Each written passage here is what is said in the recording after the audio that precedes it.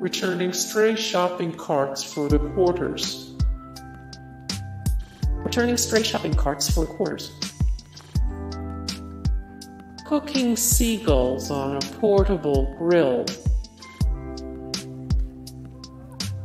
Pouring baby oil down storm drains to keep the roaches away.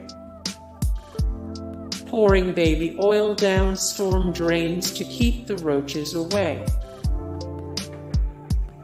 Turning a shopping cart into a grill.